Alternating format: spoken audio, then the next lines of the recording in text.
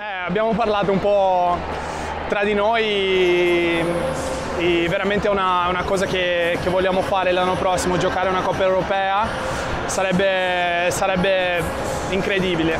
Eh sì, secondo me è questo torneo abbiamo giocato abbastanza bene, siamo una squadra un po' diversa, eh, un po' più aggressiva e sì, speriamo fare una, una bella gara.